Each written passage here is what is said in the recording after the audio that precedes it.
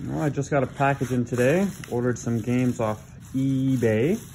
First time ever ordering from them. I just opened it up, but I haven't looked inside just yet, so we'll take a peek here. Ah, oh, yes! Oh, oh, I'm so happy to have this. One of my favorite games of all time. I first played it a year ago on the Switch. Oh, I, I and I just had to get it for the uh, the original for the PS2.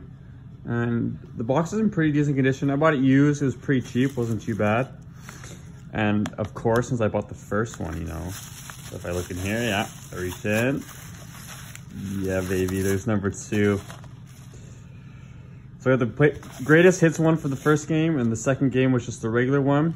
But honestly, that is absolutely fantastic. Both of them are CIB. Scuff on the back, but that's okay. We're not looking for percent, uh, perfect stuff. That's great. Um, Oh, I love it so much.